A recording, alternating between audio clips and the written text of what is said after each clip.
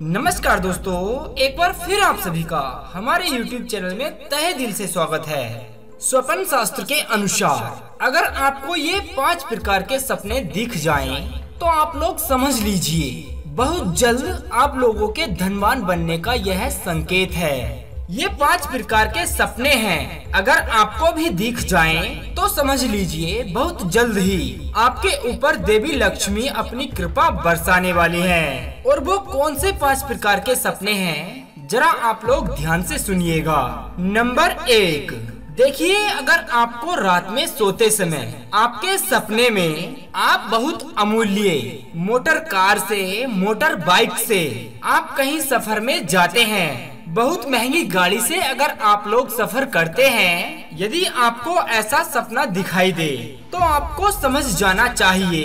इसका मतलब है, बहुत जल्द ही आप धनवान बनने वाले हैं। आपकी गरीबी जल्द ही समाप्त होने वाली है। नंबर दो, रात में सोते समय यदि आपको दिखाई दे कि आप किसी को उधार पैसे दे रहे हैं अपने सपने में आप किसी को उधार पैसे दे रहे हैं या फिर आप अपने सपने में कोई अच्छी सी वस्तु किसी को भेंट कर रहे हैं या फिर दान कर रहे हैं, यदि आपको आपके सपने में ऐसा कुछ दिखाई देता है तो इसका भी मतलब यही है, आपको बहुत जल्दी धन की प्राप्ति होने वाली है, या फिर आपका बहुत समय पुराना रुका हुआ धन आपको मिलने वाला है। दो सपने हो गए।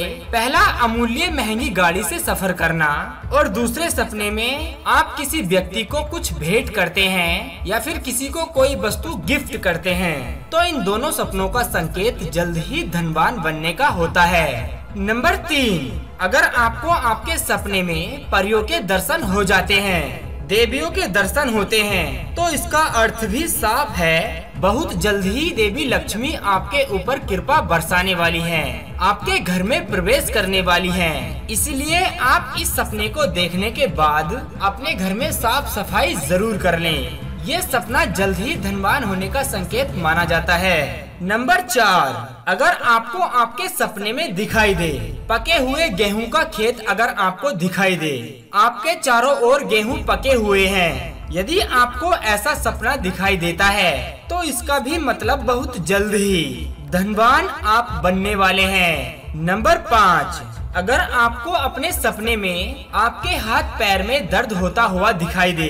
ऐसा कुछ आप महसूस करते हैं, जैसे कि हाथ में दर्द, पैर में दर्द, ऐसा अनुभव आप अपने सपने में करते हैं। तो इसका मतलब भी साफ़ है कि आप बहुत जल्द ही धन की प्राप्ति करने वाले हैं। जल्द ही आपको आपका फंसा हुआ पैसा मिलने वाला है। दोस्तों, अगर आपको इन पाँच प्रकार के सपनों में से कोई भी सपना दिखाई देता है तो आप किसी को ना बताएँ। क्योंकि बहुत से लोगों में आदत होती है, वो अपने सपने को किसी दूसरे व्यक्ति के साथ शेयर ज़रूर कर देता है। लेकिन दोस्तों, आपको ऐसा कुछ नहीं करना है। अगर आपको इन पाँचों सपनों में से कोई भी सपना आया है तो आप हमें कमेंट करके ज़रूर बताएँ। और वीडियो को लाइक करके अपना प्यार हमेशा की तरह हमें ज़रूर दीजिएगा। और आगे ऐसे ही वीडियोस देखने के लिए चैनल को सब्सक्राइब करना ना भूलें। तो अब दीजिए हमें इजाज़त ताकि हम आप सभी के लिए एक और ऐसी ही अनसुनी व रोचक जानकारी को ढूंढकर ला सकें। तब तक के लिए आप अपना ध्यान रखिए और हमेशा मुस्कुराते रहिए।